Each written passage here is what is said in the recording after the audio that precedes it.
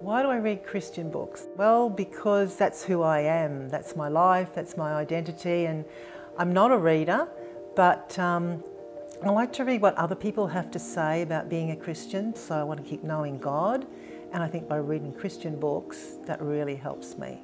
I read once a week when I have coffee with Bill at the coffee club. Some of you might have seen the Tuesdays with Bill posts. So I take my book and for two hours I sit there and just get totally absorbed in what I'm reading. Probably about 10 years into being a Christian, um, I wanted to know more about what it was to actually be a Christian. What did Jesus do for me when he died on the cross? And there was one book that actually just, it literally changed my life. It was called Justification, Accomplished and Applied by Andrew Murray. And the part in particular that blew me away was on justification by faith because it meant that I was secure in my salvation because I had done nothing and I couldn't do anything, but He had done everything for me. And i you know, I've heard about people who have been unsure about their salvation or had times of doubts, but I can say that ever since that book, I have never ever doubted my salvation. Another book that has been pretty instrumental in my Christian walk has been Knowing God by um, J.I. Packer. It's about just standing in awe of who God is.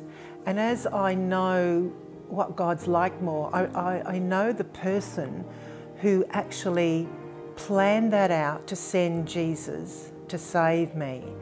And the more I know about him, the more I just stand in awe of him and I stand in awe of my salvation.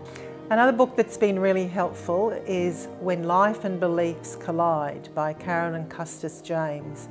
And I like this book because when life hits me like a bus and my past comes up to haunt me, it's my beliefs that are going to determine how I fare in those times. What I've found is wrong beliefs can make me either blame God, they can make set me off on the wrong track, but the more I understand my beliefs about God and, and my salvation, then the stronger I'm going to be in those difficult times. And I know there are some people for whom reading is really difficult. It might be, you might have dyslexia or something like that.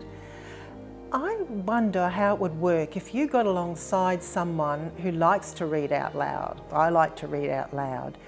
And you got them to read the book to you. And in that context, then you can have some fellowship about what you're reading and perhaps learn together. I'm not a reader. If I had to choose between reading a book and making something with my hands, I would choose that over reading.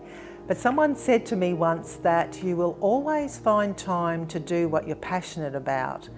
And because I've become passionate about knowing Jesus and knowing God and what that means, then I've always been able to find some time to do it.